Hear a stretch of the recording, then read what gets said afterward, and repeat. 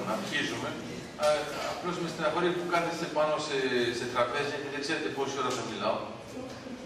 Μετά θα το μάθετε μετά. Εγώ είμαι σαν το φυσικό έργο. Μόλι αρχίζουμε μετά είναι.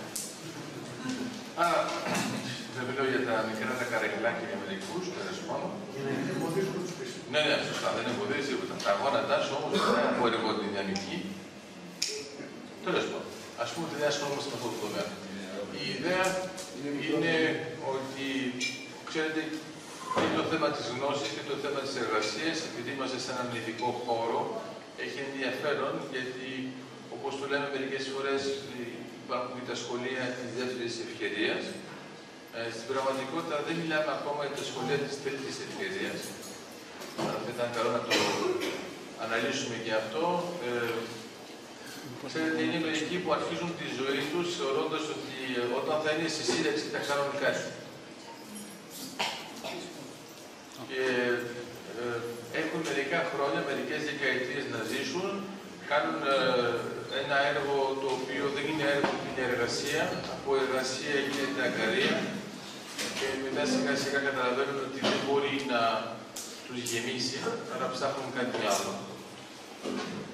επειδή πάνω κάτω βιάστηκαν. Αλλά θα ήθελα να αρχίσουμε με αυτή την ιδέα, είναι ότι όταν ε, θέλουμε να είμαστε πολύ γρήγοροι, τελικά είμαστε αργοί. Όταν είμαστε αργοί, τελικά είμαστε γρήγοροι. Ε, το θέμα των στρατηγικών αποφάσεων για μια ζωή είναι λίγο δύσκολο. Δηλαδή, πολύ συχνά τώρα η κοινωνία προσπαθεί να πει ότι ε, πριν το 18 πρέπει να έχετε αποφασίσει για τα πάντα το πιο ωραίο είναι ότι ξέρουμε ότι υπάρχει μια μεγάλη καθυστέρηση, δηλαδή παλαιότερα τα παιδιά ήταν λιγότερο παιδιά από τα παιδιά. Τώρα είναι οι ενήλικοι ακόμα παιδιά. Ε, ταυτόχρονα έχει ενδιαφέρον γιατί παλαιότερα ήταν πιο όριμοι, αλλά δεν μπορούσαν να ψηφίσουν, τώρα είναι πιο ανώριμοι, αλλά μπορούν να ψηφίσουν.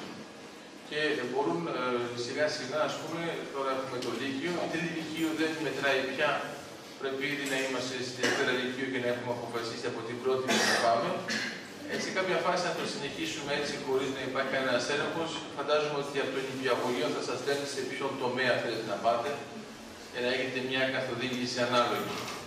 Ε, μετά τι γίνεται, αν τα καταφέρουμε στο πρώτο σκέλος ή στο δεύτερο σκέλος, αυτός ο θόρυβος που υπάρχει είναι εξωτερικός ή είναι πάνω. Μπορούμε να το κλείσουμε.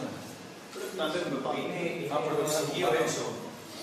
Άρα, αυτή η πόρτα μπορεί να είναι κλειστή. Πόρτα, κύριε Μαυρίδη. Πόρτα. Α, βεβαίως υπάρχει.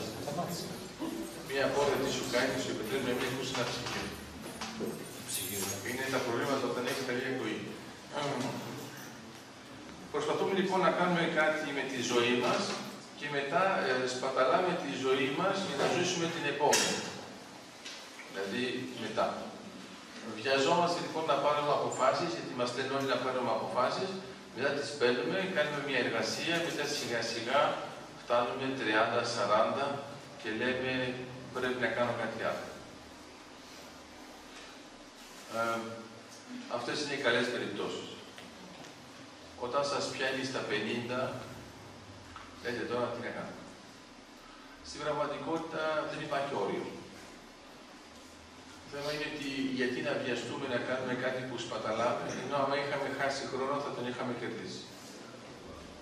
Άρα, θέλω να κάνω μια διαφοροποίηση στο χάνω χρόνο και στο σπαταλό. Είναι μερικοί που λένε ότι, και μερικές βέβαια, δεν πρέπει να χάνουμε χρόνο. Άρα χάνουν τόσο λίγο χρόνο που μετά προσπαθούν να βρουν δραστηριότητες για να το χάσουν.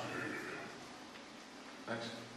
Είναι αυτό που ονομάζουν το παστατέμο μου είναι να περνάει ο χρόνος. Άρα, επειδή δουλέψατε όλη την ημέρα και δεν χάσατε καθόλου χρόνο, το πρώτο πράγμα που κάνετε στο τέλος της δουλειάς είναι τι να κάνετε για, για να χάσετε χρόνο. Ε, είναι αστείο, γιατί άμα το σκεφτείτε, αν είχατε χάσει χρόνο πριν, τότε θα είχατε κερδίσει χρόνο. Ε, ένα παράδειγμα που έχει μεγάλη σοφία από έναν γέρο φουρνάρι είναι αυτός που διαλέγει το επάγγελμά του δεν πάει ποτέ στη δουλειά. Ενώ έχουμε πολλούς που έχουν δουλειά αλλά δεν έχουν επάγγελμα. όταν ακούτε ότι κάνει αυτή τη δουλειά για βιοποριστικούς λόγους, να ξέρετε ότι είναι σκλάβος. Αυτό λέει, δηλαδή δεν τολμάει να το πει το σώμα, αλλά λέει βιοποριστικούς. Άρα κάθε φορά που έχετε να κάνετε με κάποιον που σας, του κάνει την ερώτηση τι δουλειά κάνεις, σας απαντάει, αλλά επειδή νιώθει ότι δεν σας αρέσει, λέει είναι για βιοποριστικούς λόγους. Και επειδή έχει πει αυτή τη φράση, μετά ε, προσπαθεί να ε, απολογηθεί και να πει ότι αυτό είναι το αίτιο, ενώ στην πραγματικότητα είναι αυτό που αποδέχτηκε και δεν υπήρχε λόγος να το αποδεχτεί. Άρα, για να παράγω έργο πρέπει να χάσω χρόνο.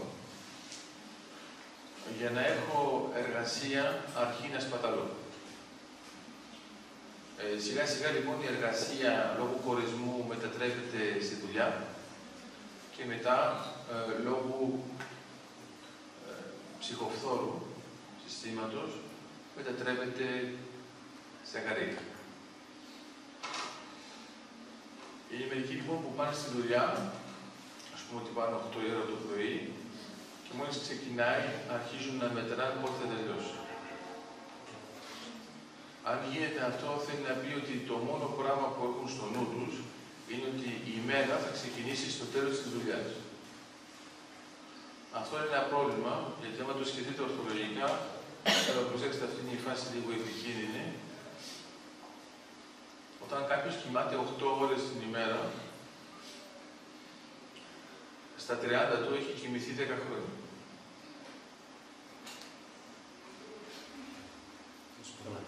Δεν είσαι 30, δεν έχεις πρόβλημα πέτω. 30 είναι. Πόσο είναι; Καλά, δεν μιλάει για τα νυχτερινά που βιώνουν. Άρα, φανταστείτε τώρα, ας πούμε, στα 60, έχετε κοιμηθεί 20 χρόνια. Δηλαδή, έχετε κοιμηθεί αντικειμενικά 20 χρόνια στα 60. Και έχεις αυτόν τον άνθρωπο που λέει δεν πρόλαβα να κάνω τίποτα. Να του πείτε αφού κοιμώσουν 20 χρόνια. Δεν κάνω, Άρα, άρα, θα σου λέω αυτό με τον ύπνο γιατί είναι, φαίνεται να είναι πιο αντικειμενικό. Άμα το σκεφτείτε ότι μπορεί, μπορεί όχι μόνο να κοιμάται 8 ώρες το 24ωρο, αλλά να κάνει και ένα 8ωρο σε μια δουλειά που δεν του προσφέρει τίποτα. Αυτό είναι ακόμα χειρότερο, γιατί τώρα στα 60 έχουμε χάσει 40 χρόνια τη ζωή. Στα 30 έχουμε χάσει 20.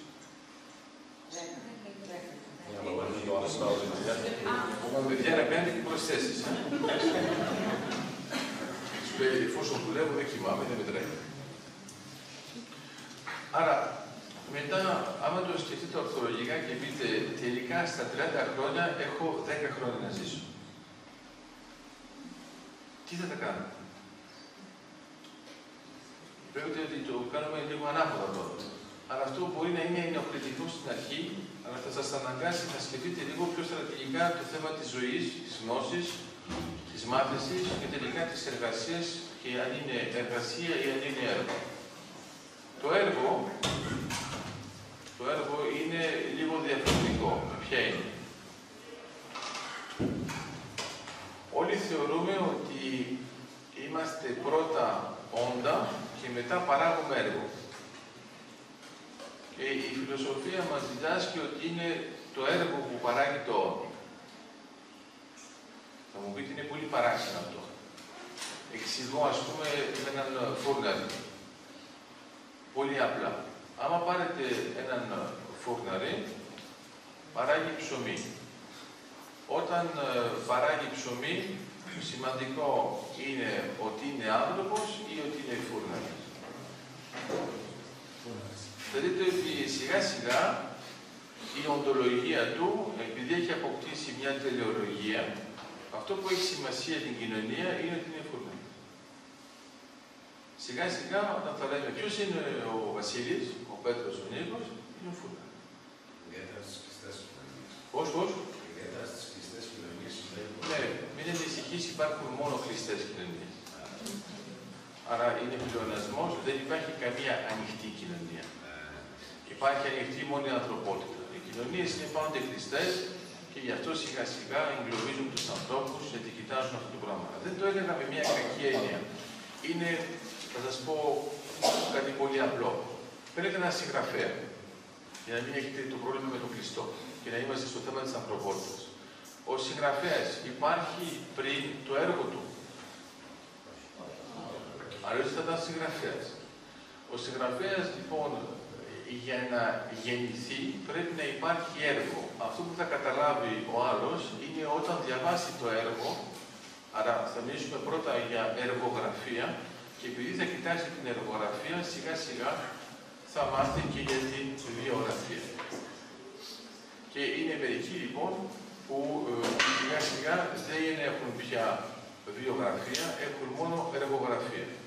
Δηλαδή, αν πάρετε, ας πούμε, τον Ντοστογεύσκη, είναι πολλοί από εσάς που ξέρουν τι είναι η εργογραφία του και μπορεί και να μην ξέρουν τίποτα για τη βιογραφία του. Ε, στην πραγματικότητα, αυτό που ονομάζουμε Ντοστογεύσκη ή οποιοδήποτε συγγραφέα είναι το έργο, το οποίο έχει ε, ταυτιστεί με το όνομα. Πριν λοιπόν δεν ξέρουμε τι ήταν. Άρα, άμα το σκεφτούμε έτσι λίγο πιο ορθολογικά, καταλάβουμε ότι για τους άλλους ανθρώπους, ένας άνθρωπος ε, υπάρχει μόνο και μόνο μέσω του έργου. Θα δείτε ότι αυτό είναι πολύ σκληρό σαν θέμα. Ναι. Μια διαφήμιση ενό ουίσκι, δεν ξέρω αν δείτε διδάσκαλε, υπάρχει ε, το ρομπότ αυτό το μερικό ρομπότ που κάνει σε διαφημίσει αυτό. Είχε πει ένα ευχαριστώ το οποίο έγινε.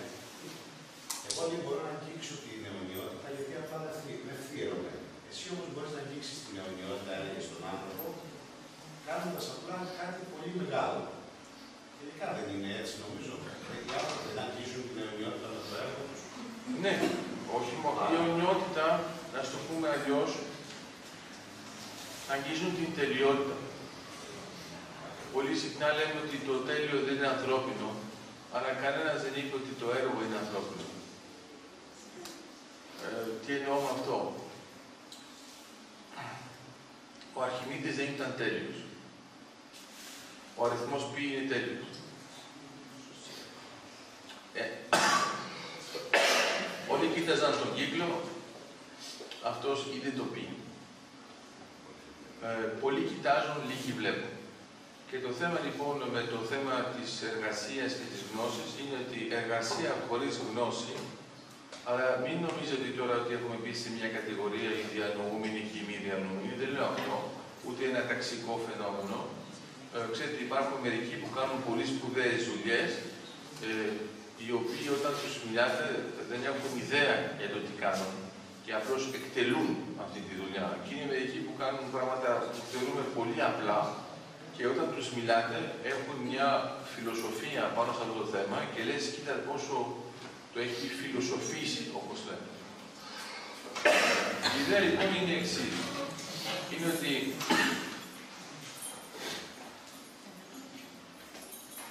αν υπάρχουμε μόνο μέσα από το έργο, γιατί δεν επιλέγουμε μια εργασία που παράγει έργο;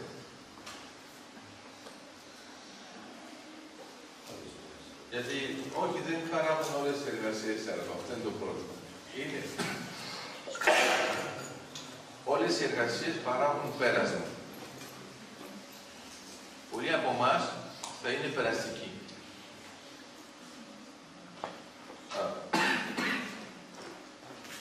Ευχαριστώ, θα δούμε μετά τα άλλα. Ναι, ναι. Είναι τα παράδειγμα. Όχι, δεν είναι για νερό, είναι απλώ οι υπόθεσει που είναι ανοιχτέ. Θα προσαρμοστούν. Λοιπόν. Ναι, ναι, μπράβο, μπράβο. Κοίτα, κοίτα, κοίτα, κάτσε εκεί, κάτσε εκεί, κάτσε εκεί. Κάτσε, κάτσε εκεί, άνοιξε. Κλείστε, κλείστε. Άνοιξε τη. Κλείστε. Όχι, όχι, κλείστε.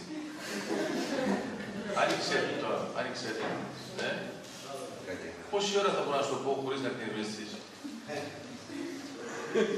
Έχεις αρχίσει τώρα. Αυτό είναι εργασία. Δεν παραγγέλνω.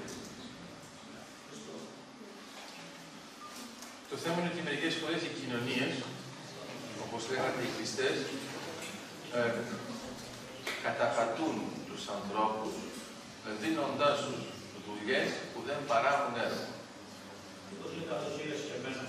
Ναι, αυτό, αυτό είναι εντελώς εσκεμμένο για να υπάρχει καταπάτηση. Θα δίνω ένα παράδειγμα πολύ απλό.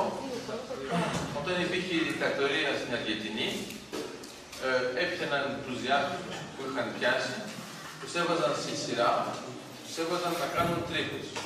Άρα, εσύ λες, εντάξει, είναι ένα έργο. Μετά τους μετακινούσαν μία μονάδα και έβαζαν τον επόμενο να γυρίζει την τρύπα που είχε σκάψει ο άλλος. Μετά τον μετακινούσαν ακόμα μια μονάδα και το έβαζαν να σκάβει την επόμενη τρύπα. Αυτό είναι που ονομάζουμε καταναγκαστικά έργα. Καταναγκαστικά έργα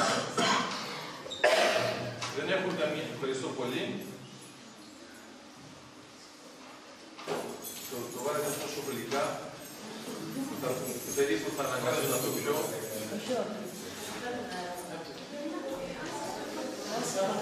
Φύγω.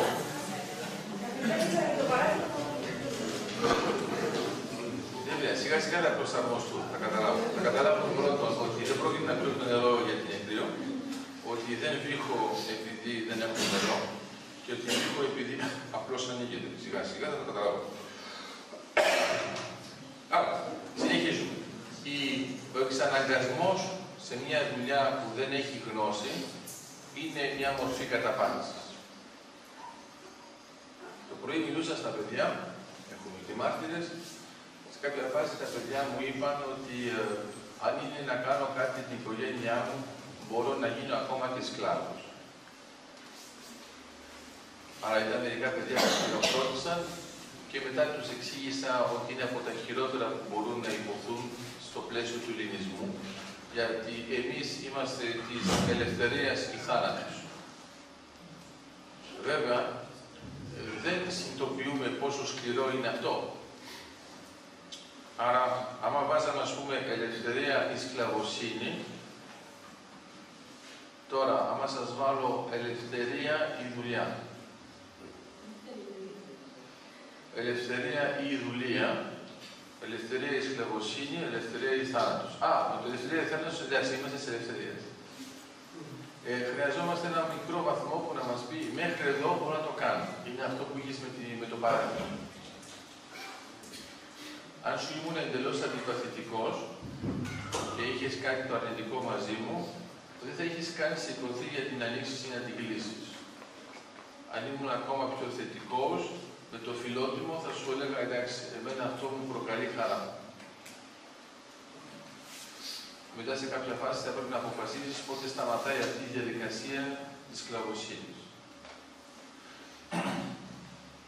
Εδώ λοιπόν το θέμα μας ποιο είναι; Είναι γιατί επιτρέπουμε στην κοινωνία να μας εξαναγκάζει σε μια δουλειά. Είναι πάρα πολύ απλό, είναι επειδή το θελήσαμε.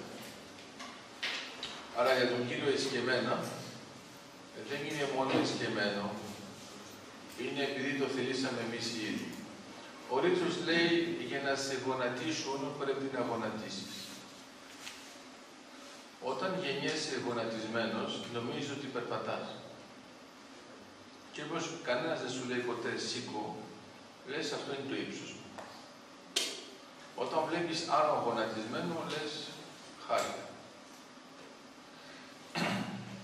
Άρα η φράση του επίκτητου είναι πολύ πιο ξεκάθαρη όταν λέει ότι πρέπει να θεωρείς τον εαυτό σου ως ελεύθερο όν ή ως σκλάβο, όλα εξαρτώνται από σένα. Ε, πρέπει να καταλάβετε ότι δεν το είπε όποιος να είναι, πρώτα απ' όλα το είπε φιλόσοφος, το είπε ιστορικός και το είπε φιλόσοφος που ήταν και σκλάβος. Όταν τον βασάνιζε ο αφέντης του, κάποια φάση του λέει, αν συνεχίσεις θα μου σπάει στο χέρι. Μετά όλος του έσπασε το χέρι και λέει, δεν πιστός Αυτό το αφαιρετικό ύφος ενοχλεί πάρα πολύ αυτόν που καταπατάει τον άνθρωπο. Αυτός που θα κάνει σχεδόν ελεημοσύνη για να μην του σπάσουν το χέρι, στο τέλος δεν έχει καταλάβει ότι είναι ήδη σπασμένο το χέρι. Άρα, η ιδέα λοιπόν με το θέμα της γνώσης είναι όταν έχουμε το σοκρατικό παράδειγμα που λέει ε, η είδα ότι ουδέν είδα, δηλαδή ξέρω ότι δεν ξέρω, δηλαδή δεν είναι το ίδιο ξέρω. Άρα πολλοί από εμάς μπερδεύονται, εσείς μήπως θέλετε να πιείτε το νερό. Όχι, εγώ δεν θα το πιω. Είναι πολύ κρύο. Άρα να μην πεθάνετε στη γωνία με... Είναι πιο κοντά στη πόρτα γι' αυτό. Βλέπω ότι μερικοί έχουν χιούμορ, είναι καλό. Πάνω είναι εδώ, ε, όταν δείξεις εντελώς και φύγουν και τα εντόσια. Άρα,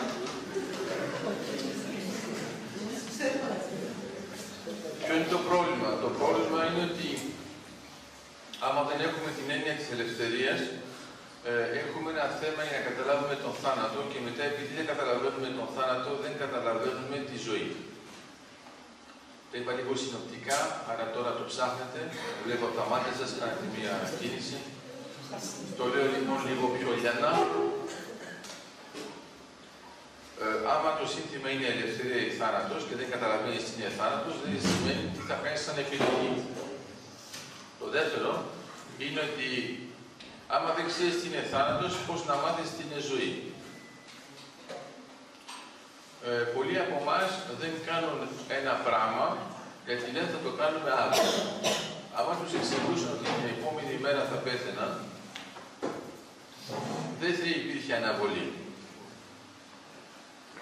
Αυτή η δυσκολία είναι πολύ σημαντική με ποια είναι. Προσπαθώ να σας πω το εξής.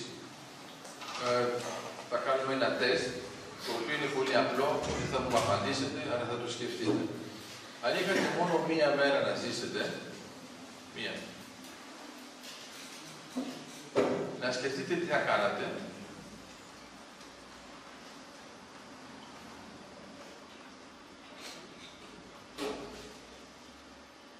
και μετά να σκεφτείτε αν θα καθόσασταν εδώ.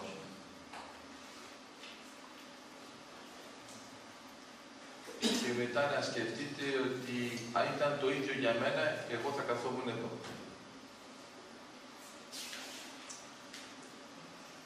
Άρα υπάρχει μια διαφορά μεταξύ μας. Ε, ναι, Νομίζω σε αυτό το ερώτημα ότι ο πιο ευτυχής άνθρωπος, ή τουλάχιστον αυτό που βλέπω εγώ, θα είναι αυτός που δεν θα βάζει τίποτα στο πρόγραμμα, στο καθημερινό του πρόγραμμα, ακόμα και αν τον ενημέρωναν ότι αύριο θα πεθάνει. Ναι. Αυτό είναι ο πιο ευτυχής άνθρωπος, δάσκαλε. Το θέμα της ευτυχίας είναι λίγο δύσκολο. Ε, το λέει ο Αγουστινός και λέει για να είσαι ευτυχισμένος πρέπει να ζητάς αυτό που έχεις. Άρα συμπίπτει με αυτό που άκουσα τώρα. Το θέμα ποιο είναι; Είναι ότι αν η ευτυχία είναι στόχος ζωής. Είναι σαν τα ανθρώπινα απόγεια, βέβαια, το θέσεις. Πώς, πώς; Η ευτυχία είναι σαν τα ανθρώπινα απόγεια, λέει ο Καζαντάκης. Άρα το πρόβλημα ποιο είναι; Είναι ότι πολύ συχνά οι κοινωνίες βάζουν ως στόχο για τους ανθρώπους να είναι ευτυχισμένοι. Αλλά είναι η δική τους ευτυχία. Άρα ε, σας παρέχει ευτυχία η κοινωνία και γι' αυτό σας επιτρέπει να κάνετε όνειρα. Η κοινωνία δεν έχει ποτέ πρόβλημα με κάποιον που κάνει όνειρα. Έχει όμως πρόβλημα με κάποιον που έχει οράματα. Ε, το όνειρο είναι ένα δώρο που μοιάζει λίγο με δούριο ύπου και επιτρέπουμε στους ανθρώπους να έχουν όνειρα έτσι ώστε να συνεχίσουν να κάνουν τη δουλειά τους που είναι αγκαρία και σκλαβοσύνη γιατί λένε στο όνειρο θα κάνω κάτι άλλο. Και είναι μερικοί που πεθαίνουν με τα όνειρά τους, μια χαρά, γιατί χωράνε στο φέρετρο. Αν όμως έχετε οράματα, τότε για την κοινωνία είστε επικίνδυνος. Γιατί έχετε στόχο. Γιατί θέλετε να κάνετε κάτι, θέλετε να αλλάξετε κάτι, θέλετε να αφήσετε κάτι και ξαφνικά αμφισβητείτε το αιώνιο παρόν. Η κοινωνία της αρέσει πάρα πολύ η επανάληψη της ημέρας. Γι' αυτό και εσείς λέτε κάθε φορά το πρωί καλημέρα. Καλησπέρα και καληνύχτα. Ξανά καλημέρα, καλησπέρα, καληνύχτα. Αν έχετε μετρήσει πόσες φορές έχετε πει αυτές τις φράσεις, δίχως καν να τις πιστεύετε, απλώς σας λένε ότι κοινωνικά το λέμε, θα πρέπει να τα βάλετε, προσέξτε σε αυτούς που δεν κάνουν καλά πρόσθεση και το προσθέσουμε στα 20 χρόνια που έχετε χάσει από τα 30. Γιατί αυτό υποτίθεται ότι είναι η σκέψη σας, αλλά δεν είναι η σκέψη σας, είναι αναμετάδοση. Μετά βέβαια σιγά σιγά μαθαίνετε την έννοια της εβδομάδας, λες και καλή εβδομάδα. Είναι, είναι πολύ ναι, βέβαια, καλό μήνα, βλέπω είναι μερικοί εξοικειωμένοι. Όταν πέφτει λοιπόν Δευτέρα, εβδομάδα και μήνα, έχουμε το αστείο, σας λένε τα τρία μαζί. Λες και άμα είχες καλό μήνα, δεν θα ήταν καλή ημέρα. Υπάρχει αυτή η πιθανότητα, καταλάβετε, δηλαδή να είναι 29 μέρες, να είναι 29 μέρες στα βούρα, αλλά η 40 να είναι καλή και λες ότι τότε ήταν καλό σου μήνα. Ε, για να καταλάβετε πώς πάει το θέμα. Το θέμα είναι το εξής. Είναι ότι τι κάνει με το τετράδιο ακριβώς εσύ;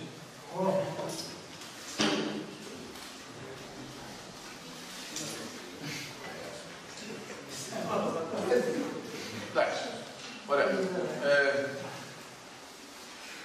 φανταστείτε τώρα όταν λέμε στους ανθρώπους καλό ταξίδι. Όχι για πού, δηλαδή με καλό ταξίδι. Άρα, να, ας πούμε, όταν πετάτε με αεροπλάνο, να ξέρετε ότι στην πολεμική αεροπορία δεν λέμε ποτέ καλό ταξίδι. Λέμε καλή προσγείωση. Ε, αν το καταλάβετε, θα δείτε ότι συμφέρει να έχετε καλή προσγείωση και να μην είναι καλό το ταξίδι, αλλά είναι το αντίθετο.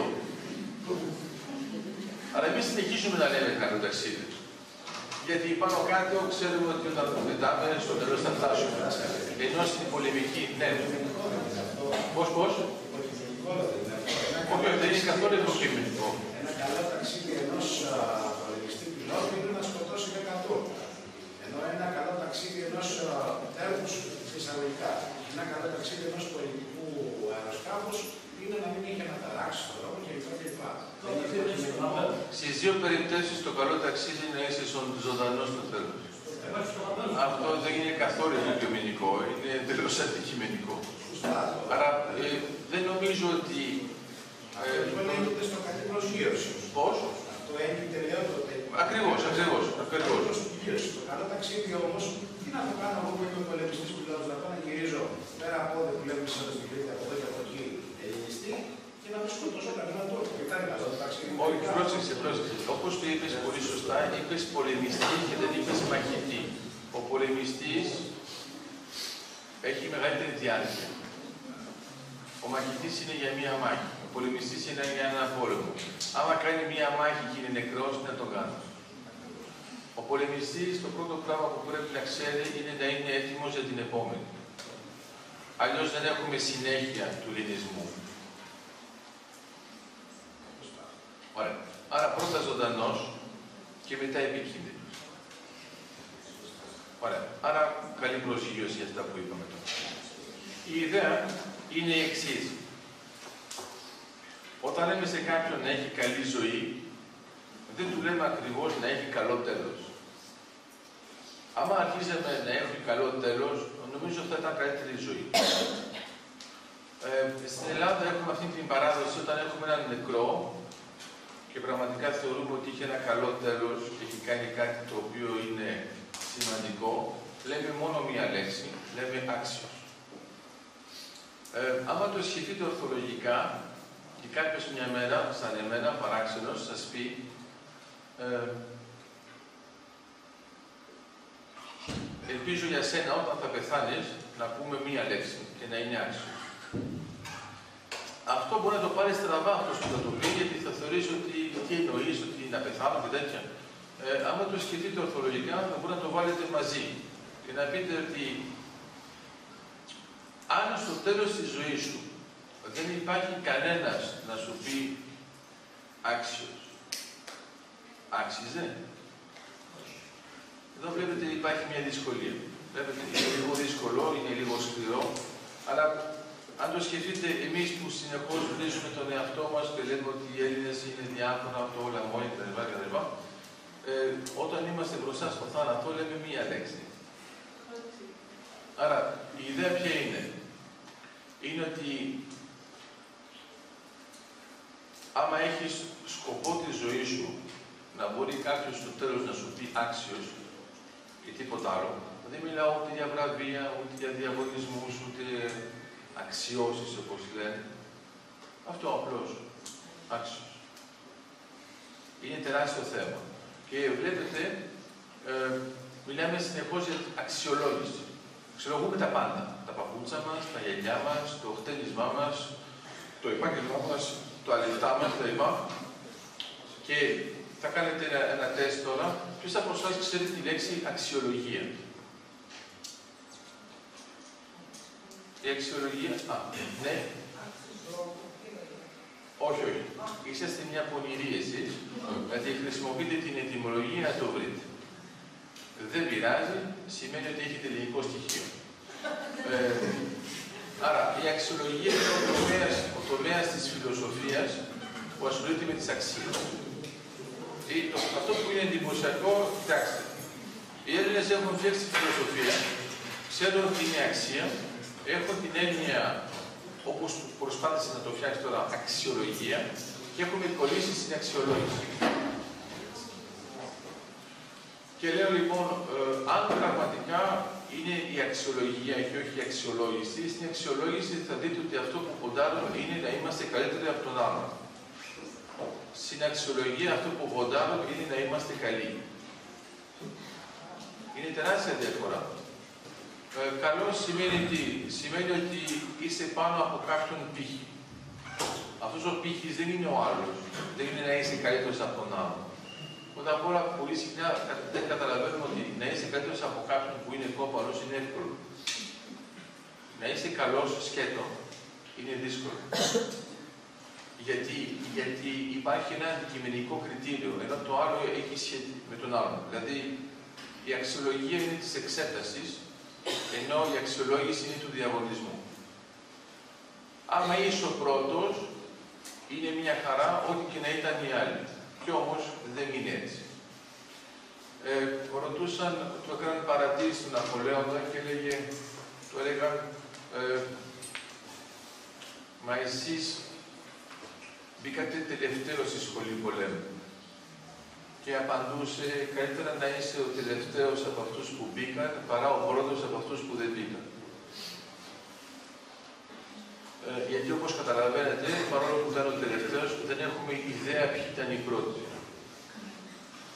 Αυτό που εξηγούσα τα παιδιά το πρωί, στο διάλειμμα, τους έλεγα, στη φιλική εταιρεία, ο Κοροκοτρώνης ήταν το νούμερο 118. Η ιστορία της Ελλάδος αδιαφορεί παντελώς αυτό το γεγονός, γιατί στην ιστορία της Επανάστασης ήταν το νούμερο 1. Τώρα, άμα δίνετε μεγάλη σημασία στο ότι ήταν το 118, θα σας πω ποιος ήταν το 117. Εκεί πέρα θα καταλάβετε ότι πραγματικά δεν μας αφορά καθόλου. Αυτό που έχει σημασία δεν είναι η σειρά. Είναι πώς μπορούμε να αξιολογήσουμε το έργο. Αυτό που μπορώ να σας πω είναι ότι όταν λέμε ότι όλοι ήταν ήρωες, το λέμε για όλους. Όταν όμως σκεφτούμε το εξής, ας πάρουμε όλους τους ήρωες της Επανάστασης. Εντάξει. Άρα επειδή τους βάζουμε όλους με το τσουβάρι και τους ονομάζουμε όλους ήρωες, έχουμε ένα θέμα. Άρα για να το κάνουμε τώρα στον τομέα της αξιολογίας, είναι πολύ απλό. Δεν κάνουμε αξιολόγηση, δεν λέμε ποιος ήταν ο καλύτερος. Λέμε από όλους τους ήρωες, τώρα θα μας φύγει ένας. Και δεν θα τον έχουμε. Ποιον δεν θέλουμε να μας φύγει. Η απάντηση για να υπάρχει επανάσταση είναι ο προκοτρώνης. Όλοι οι άλλοι ήξεραν από πολλά πράγματα. Από πόλεμο, από μάχης, από πολλούχια, από τακτική. Αλλά ήταν ένας που έκανε στρατηγική. Δίχως αυτό, θα είχαμε απλώς εξέγερση, θα είχαμε εκτόνωση και μετά θα μας είχαν πλακώσει ξύλο. Άρα η ιδέα ποια είναι, γιατί μην νομίζετε ότι η επανάσταση έγινε με την πρώτη, έγιναν αρκετές μέχρι να γίνει μία. πρόβλημα λοιπόν σε σχέση με τη γνώση είναι ότι άμα δεν έχουμε γνώσεις, τι σημαίνει ζωή; Είναι πολύ απλό, λέγεται επιβίωση. Άρα μετά σιγά σιγά ονομάζουμε επιβίωση τη ζωή για να νιώθουμε καλύτερα. Οι γνώσεις δεν λέω αναγκαστικά εγκυκλοπαιδικές γνώσεις, εντάξει, μην μπερδευτούμε. Αλλά η ιδέα ποια είναι; Είναι ότι άμα αρχίσουμε με το σοκρατικό ότι ξέρω ότι δεν ξέρω, το θέμα είναι αν πρέπει μετά να αλλάξουμε ή αν μπορούμε να αλλάξουμε. Ε, υπάρχει ένα σύστημα που είναι πάρα πολύ απλό και λέει υπάρχουν άνθρωποι που δεν ξέρουν ότι δεν ξέρουν, υπάρχουν άνθρωποι που ξέρουν ότι δεν ξέρουν, υπάρχουν άνθρωποι που δεν ξέρουν ότι ξέρουν και υπάρχουν άνθρωποι που ξέρουν ότι ξέρουν. Και σου λέει, τους πρώτους τους αφήνεις ήσυχους. Τους δεύτερους τους μαθαίνεις, τους τρίτους τους ξυπνάς, τους τέταρτους τους ακολουθείς. Τόσο απλά. Άρα, το θέμα είναι ότι τώρα αν ρωτήσετε σε ποια κατηγορία είστε, σημαίνει ότι δεν είστε στην πρώτη. Ε, αν συνεχίζετε να ρωτήσετε, σημαίνει ότι δεν είσαστε στην τέταρτη. Άρα θα παίξετε μεταξύ 2 και 3. Τώρα, η ιδέα ποια είναι; Είναι εφόσον το εντοπίσουμε αυτό και καταλαβαίνουμε, ας πούμε, επειδή είμαστε και σε αυτό το χώρο, και νομίζω ότι έχει σημασία, γιατί είμαστε της νύχτας, είναι ότι η, η ημέρα γεννιέται μόνο μέσω της νύχτας.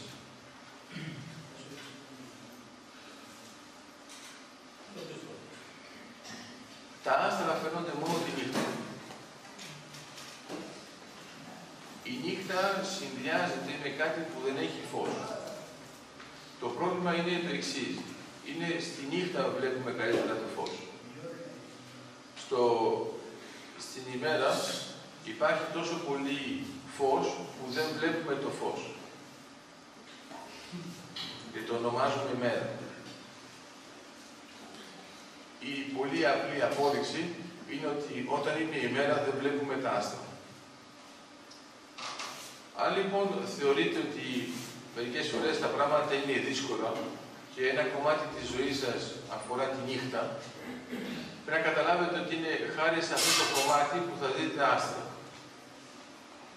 Άρα, η ιδέα ποια είναι; Αν χρησιμοποιήσουμε σαν κριτήριο τα άστρα, τότε θα πρέπει να καταλάβουμε το εξής. Πόσο σημαντικό είναι να βλέπουμε τα άστρα.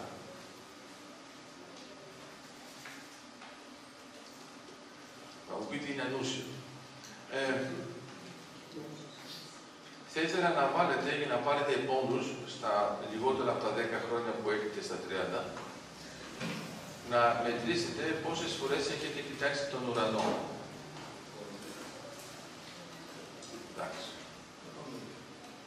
Ε, θα δείτε ότι με την πάνω του χρόνου το κοιτάζετε όλο και λιγότερο.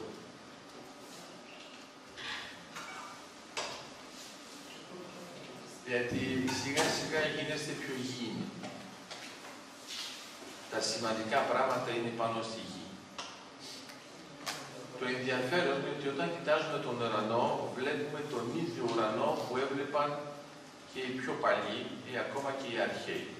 Μερικές φορές αναρωτιόμαστε οι αρχαίοι, ας πούμε, τι έβλεπαν. Και δεν, έχουμε, δεν μπορούμε να απαντήσουμε εύκολα, ενώ είναι πάρα πολύ απλό, κοιτάξτε τον ουρανό. Έβλεπαν τα ίδια πράγματα με εμάς και κάθε φορά που κοιτάζετε τον ουρανό, έχετε μια γέφυρα με τους παλιούς. Το πιο εντυπωσιακό είναι ότι έχετε μια γέφυρα και με τους επόμενους. Αν το συνειδητοποιήσετε τότε θα πείτε, κοίτα, άμα κάποιος μας βλέπει από τον ουρανό και κοιτάξει τη ζωή μου, σε πόσο διαφέρω από το Μυρμήνι. Βέβαια θα μου πείτε, εντάξει, είναι λίγο σκληρό να το πούμε, μην στεναχωρηθείτε και τα Μυρμήνια έχουν ηρεμοφολίες. Άρα, πάρετε το σπίτι σας και πάρετε το χώρο εργασίας ακόμα και εδώ και φανταστείτε τώρα ότι σας βλέπει κάποιος από ψηλά και κοιτάζει όλα αυτά που κάνετε. Θα δείτε ότι μοιάζει πάρα πολύ με κίνηση μπράβο. Είναι μερικοί που λένε, ας πούμε, σήμερα τι έκανες, έτρεχα. Όταν σας λέει τι έκανε, αυτό, αυτό, αυτό, αυτό, άρα ποιε υπηρεσίε έκανε αυτό, αυτό, αυτό, αυτό, στι τι έκανες, Ε, αυτό έτρεχε. Και δεν καταλαβαίνει ότι έτρεχε επί τόπου. Τα μεγαλύτερα ταξίδια που κάνουμε είναι αυτά που είναι ακίνητα. Γιατί αυτά τα ταξίδια σχετίζονται με τον χρόνο και με τον χώρο. Ε, άμα ρωτήσετε σε κάποιον, άμα πάρεις πολλά λεφτά και θες να κάνεις ένα ταξίδι, θα σου πει το γύρο του κόσμου. Έχει πολύ πλάκα γιατί λέει το γύρο. Θέλει να επιστρέψει στο ίδιο σημείο. Δεν σου λέει το μισό. Με θέλει στην άλλη άκρη του κόσμου. Γιατί το θέμα του είναι ότι θέλει να το πει σε κάποιον ότι το έκανε ρε αυτό. Το φαντάζεστε. Ξαναέρχεται στο σπίτι του και έχουν πεθάνει όλοι. Και δεν μπορεί να πει σε κανέναν ότι έχει κάνει το γύρο του κόσμου. Έχει πάρει φωτογραφίες, έχει κάνει το λάπτοπ, έχει όλες, όλα τα. Και του λέει, τώρα τι θα πω; Στην πραγματικότητα λοιπόν για το ταξίδι, για να καταλάβεις εκεί που το πήγαινε, αλλά συμφωνούμε επί της ουσίας, είναι ότι όλο το ταξίδι είναι μέσα στο μυαλό μας. Τεράστιο θέμα. Αλλά το ακίνητο ταξίδι είναι ότι στο ταξίδι αυτό που έχει μεγάλη σημασία είναι η επιστροφή. Ενώ στην αρχή λένε ότι είναι να φύγουν. Στην πραγματικότητα φεύγετε για να επιστρέψετε. Τα λιμάνια δεν είναι φτιαγμένα για να φεύγουμε, είναι φτιαγμένα για να επιστρέφουμε.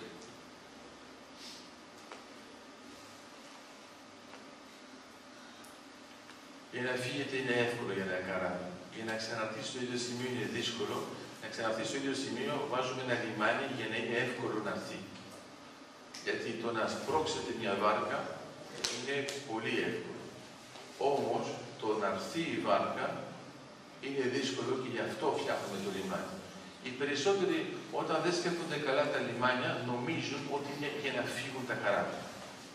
Μα τα καράβια έφευγαν πριν τα λιμάνια. Το θέμα είναι ότι όταν μετά επέστρεφαν είχαν δυσκολίες. Τότε φτιάξαμε τα λιμάνια.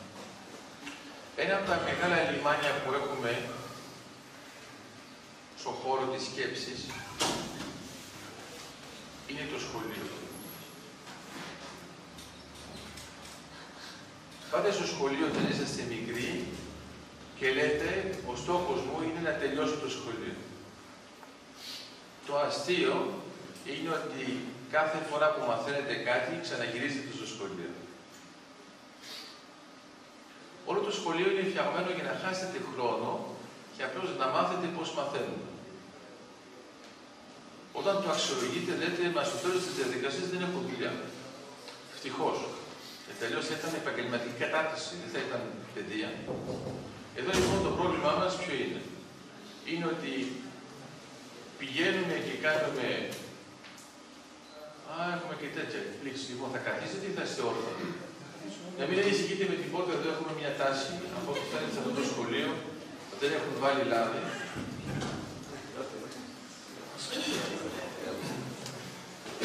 Άρα, το σχολείο ποιο είναι; Το σχολείο, θα μου πείτε, ναι, σχολείο όμως είναι αυτός ο θεσμός. Σας υπενθυμίζω ότι με τον Σοκράτη είναι η περιβαλλοντική σχολή. Η περιβαλλοντική σχολή έχει τη λέξη περίπατο. Ε, έχετε σκεφτεί ακόμα και τη λέξη περιπολία. Η περιπολία έχει σχέση με τη θάλασσα και έχει σχέση με το περί που έχει σχέση με την περίμετρο. Δηλαδή επιστρέφω στο ίδιο σημείο. Θα μου πείτε ποιο είναι το όφελος να επιστρέψω ακριβώς στο ίδιο σημείο, εφόσον είναι το ίδιο σημείο. Επιστρέφουμε στο ίδιο σημείο χωρικά, αλλά δεν επιστρέφουμε στο ίδιο σημείο χρονικά. Είναι ένα τεράστιο θέμα γιατί σημαίνει ότι καταφέραμε, καταφέραμε με το να είμαστε στο ίδιο σημείο να μην έχουμε την ίδια σκέψη. Γιατί βλέπουμε. Πώς, πώς; Η διαφορά της μετατόπισης με τη φυσική. Με το Γιατί; διάστημα. Από εδώ σε εκεί. Φεύγω από εδώ, πάω εκεί. Ναι, Εννοεί μάλλον η κοπέλα. το, το ξέρω ότι το εννοεί αυτό. αλλά Η, η διαφορά. Επειδή αλλάζει θέση. Μήπως. Δεν μετράμε... άντρες. Ναι, Πες το, πες το, είναι πες το. διαφορετικό. Η μετατόπιση είναι το διάστημα. Ε, Ξαναγυρίζουμε στο ίδιο σημείο, αλλά σε άλλο... Ναι, σε άλλο χρόνο ακριβώς. Ναι, Δεν ήρθαν όμως το...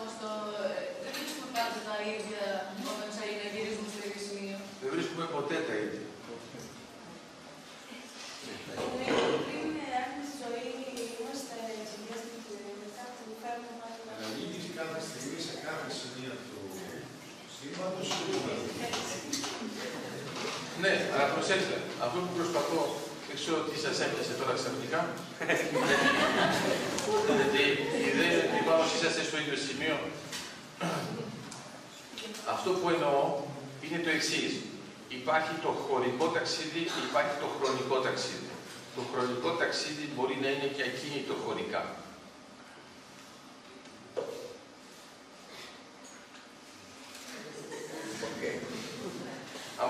Άμα δεν το πιάσει αυτό, θα έχεις μια δυσκολία. Την ώρα που διαβάζεις ένα βιβλίο και κάνεις ακριβώς στο ίδιο σημείο, συνεχίζει ο χρόνος να αλλάζει. Ωραία. Τώρα, άμα ξαναδιαβάσεις την ίδια σελίδα,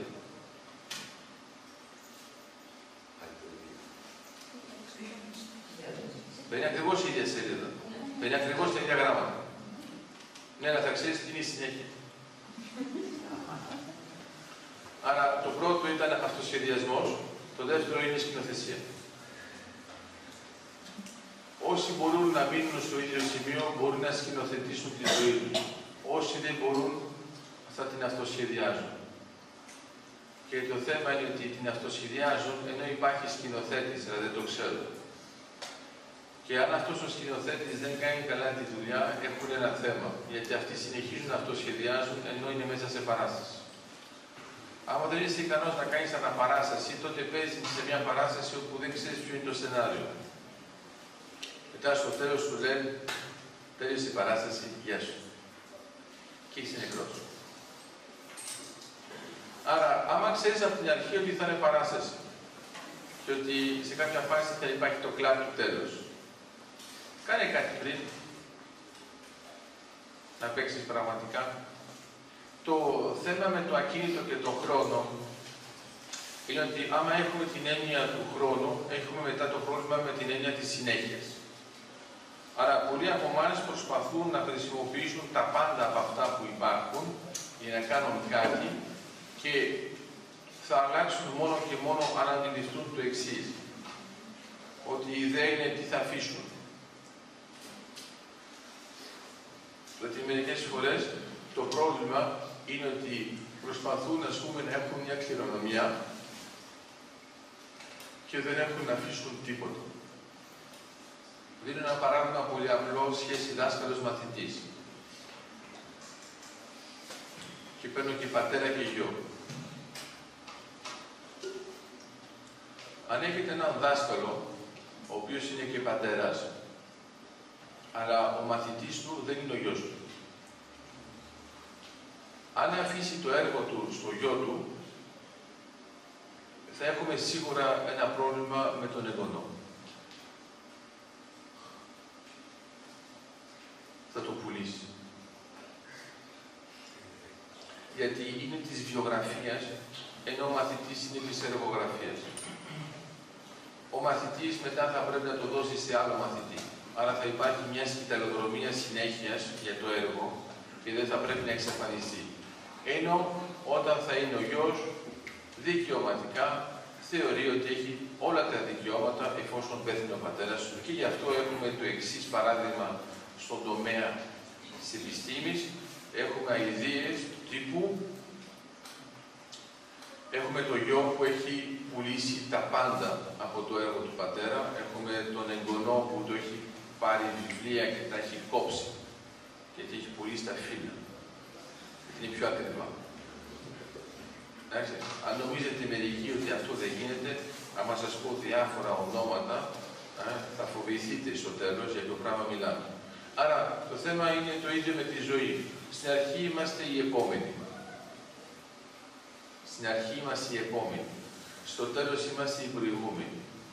Άμα εξ αρχής σκεφτείτε ότι είσαστε οι προηγούμενοι, τότε μπορεί και να αρχίσετε να είσαστε όντως οι επόμενοι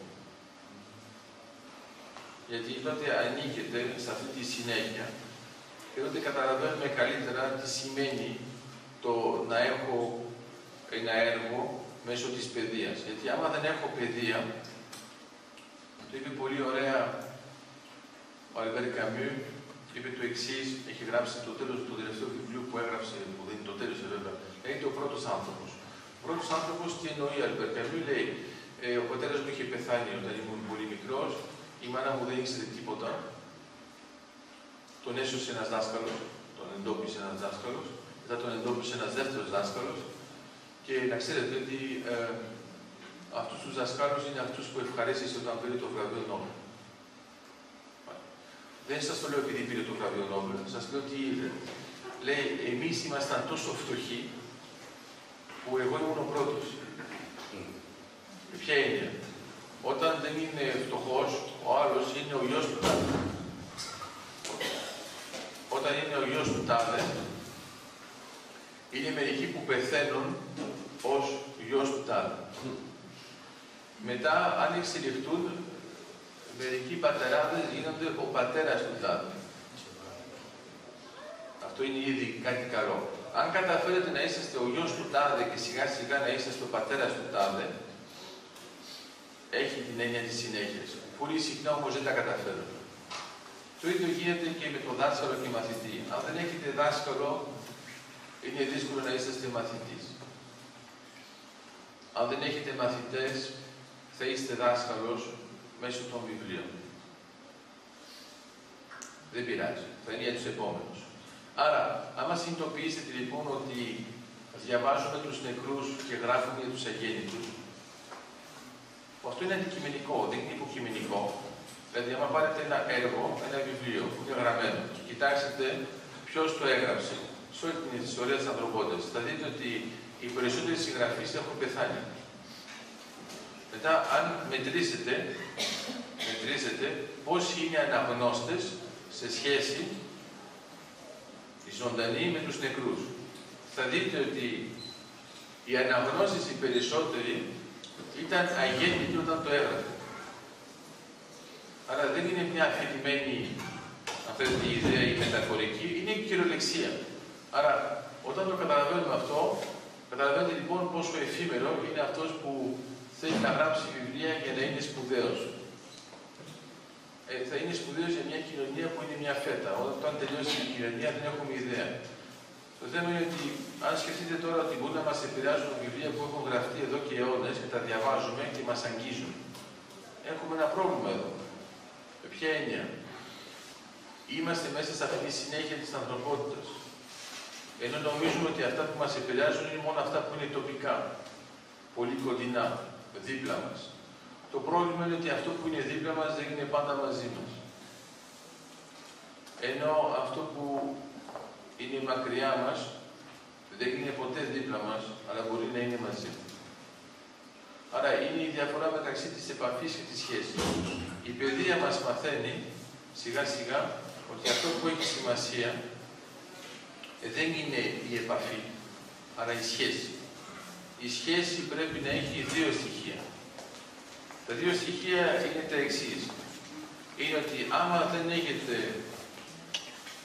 την διπλή σχέση, τότε η σχέση δεν υπάρχει, ενώ η επαφή υπάρχει. Τώρα στο θέμα της παιδείας, βλέπετε το θέμα της σχέσης είναι λίγο πιο πολύπλοκο. Η επαφή λέτε απλώς είναι επαφή. Λέγω ας πούμε εδώ ο Μουσάτος κοιτάζει κάπου κάπου το χάρτη της Ελλάδος και μπορεί να δει ότι γύρω γύρω είναι επαφές. Αυτό δεν είναι αναγκαστικά οι σχέσεις. Οι σχέσεις είναι οι άνθρωποι που είναι μαζί σας ακόμα και όταν είναι μακριά σας. Είναι μια χούφτα ανθρώπων. Ε, οι επαφές είναι πάρα πολλές. Οι επαφές είναι πολύ απλό, κοιτάτε το κινητό σας. Εντάξει. Και αν έχετε δυσκολία, παίρνετε το φάτσα βιβλίο. Facebook. Άρα, ε, οι σχέσεις είναι δύσκολες. Οι επαφές είναι εύκολες. Οι επαφές χάνονται εύκολα. Οι σχέσεις χάνονται δύσκολα. Είναι δύσκολο να έχουμε καλές σχέσεις, για ποιο λόγο, γιατί χρειάζεται παιδεία. Χρειάζεται γνώση, χρειάζεται μοιρασιά της γνώσης και χρειάζεται μια ε, συνοχή σκέψεων. Και τα συνέπεια είναι ελάχιστες, αλλά είναι αυτές που μας χαρακτηρίζουν. Ε, μερικές φορές λένε, ε, πες μου ποιος είναι ο πατέρας σου και θα σου πω ποιος είσαι. αυτό είναι άδικο. Στην πραγματικότητα, το καλύτερο είναι να σας πούν, πες μου ποιες είναι οι σχέσεις σου και θα σου πω ποιος είσαι. Ενώ άμα πείτε ποιες είναι οι επαφές, δεν έχετε ιδέα ποιος είστε. Γιατί είναι πάρα πολλοί που έχουν ακριβώς τις ίδιες επαφές με εσάς. Και δεν είναι εσάς. Άρα το πρόβλημα ποιο είναι; Είναι ότι το έργο χρειάζεται γνώση. Οι γνώσεις παίζουν με τις σχέσεις, ενώ η εργασία χρειάζεται επαφές και δεν έχει ανάγκη από γνώσεις, έχει ανάγκη από γνωριμίες. Ε, είναι μια εκφυλισμένη περίπτωση, η οποία είναι της ημέρας και είναι πάνω κάτω το πλαίσιο της κοινωνίας με το παρόν. Άρα, η κοινωνία ε, περιορίζεται στο παρόν, το οποίο το επαναλαμβάνει. Η ανθρωπότητα περιορίζεται, εντός εισαγωγικών, στο παρελθόν και το μέλλον. Έχοντας παρελθόν και το μέλλον, τότε ανακαλύπτεται ότι το παρόν είναι απλώς η ζώνη επαφής. Άμα δεν ξέρεις το παρελθόν, δεν έχεις μέλλον. Άμα είσαι μόνος στο παρόν, τότε είσαι της επανάληψης και όχι της ανέλυξης. Αυτό που είναι κρίμα για τους ανθρώπους είναι να ανακαλύπτουν προς το τέλος ότι το μέλλον τους ήταν το παρελθόν τους. Άμα το καταλάβετε από την αρχή, τότε θα δείτε ότι το μέλλον σας είναι ήδη εγκλωβισμένο μέσα στο παρελθόν και πολλά από τα στοιχεία που θα ζήσετε στο μέλλον τα έχετε με τα οποία θα παίξετε. Αυτό έχει τεράστια σημασία γιατί είναι μέσα για το πρόβλημα της γνώσης. Είναι αυτό που σας έλεγα με το βιβλίο. Όταν διαβάζετε το βιβλίο, υπάρχουν βιβλία που ξαναδιαβάζουμε, υπάρχουν βιβλία που δεν ξαναδιαβάζουμε, υπάρχουν βιβλία που δεν τελειώνουν. Το θέμα είναι ότι όλα τα βιβλία δεν είναι αναγκαστικά σημεία αναφοράς, ενώ θα μπορούσαν. Άρα η ιδέα είναι ότι μέσω της γνώσης μπορείς να έχεις σχέσεις με βιβλία και να είναι αυτό το διαχρονικό το πλαίσιο. Άμα έχετε μόνο και μόνο τις σχέσεις όπως είναι, αν θέλετε, οι επαφές σας, τότε η διάρκεια της οντολογίας σας δεν προλαβαίνει να έχει πάχος χρόνου. Ε, είμαστε σε μια κοινωνία που δεν αγαπάει τους χοντρούς. Αυτούς που έχουν πάχος. Εγώ επειδή είμαι χοντρός, προσέχω ότι αυτό που έχει σημασία είναι το πάχος μέσα στον χρόνο. Το πάχος μέσα στον χρόνο είναι γέννηση, θάνατος. Αυτό είναι το πάχος. Είναι μερικοί και μερικές που είναι τόσο λεπτοί που λες γιατί